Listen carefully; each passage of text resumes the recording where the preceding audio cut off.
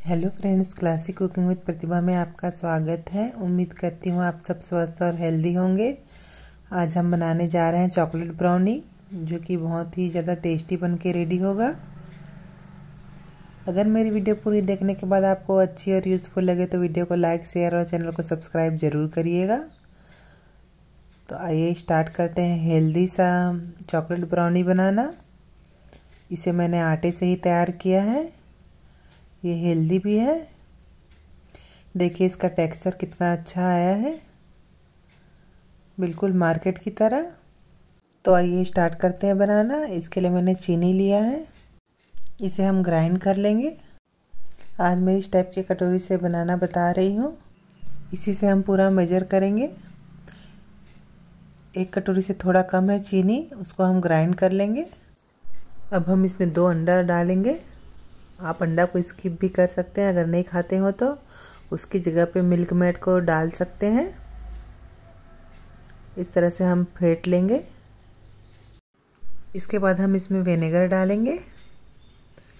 एक छोटा चम्मच है। इसको भी अच्छे से मिक्स कर लीजिएगा। अब हम इसमें दूध ऐड कर देंगे। एक कटोरी से थोड़ा कम है। अब रिफाइंड ऑयल डालेंगे। एक कटोरी है। अब हम इसमें आटा ऐड कर देंगे। आटा हमने यहाँ पे डेढ़ कटोरी लिया है। ये आधा है, एक और आधा। अब हम इसमें कोकोआ पाउडर ऐड करेंगे। कोकोआ पाउडर ना हो तो आप उसकी जगह पे डार्क बिस्किट का भी प्रयोग कर सकते हैं हाई डेंसिक वगैरह का। उसे आप ग्राइंड करके पाउडर बना लीजिएगा। यहाँ पे मैंने एक चौथाई कोकोआ पाउडर लिया है। अब हम सारे को मिक्स कर लेंगे। अब हम इसमें बेकिंग पाउडर ऐड करेंगे। आधा चम्मच है। और बेकिंग सोडा, एक चौथाई। अब हम इसमें चॉकलेट एसेंस डालेंगे।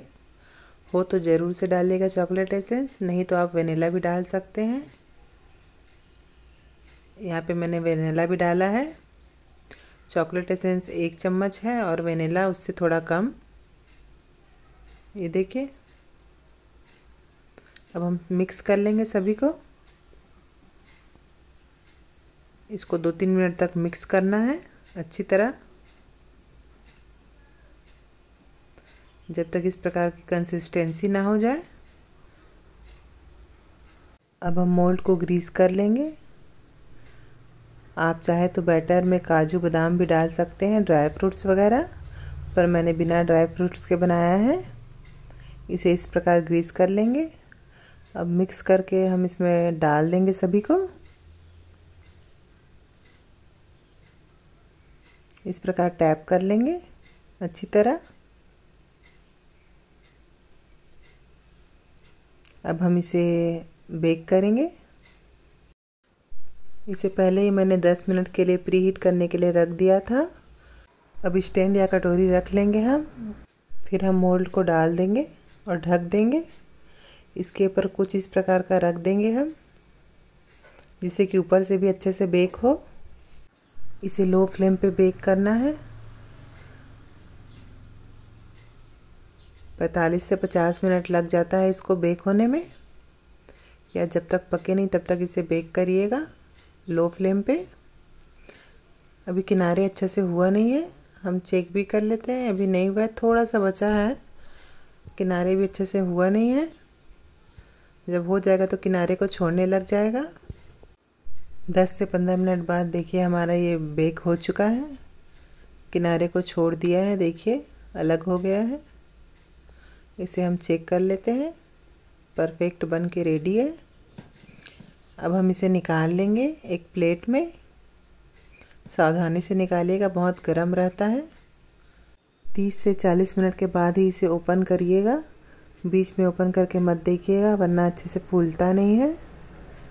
उसके बाद ही आप ओपन करिएगा 40 मिनट कम से कम।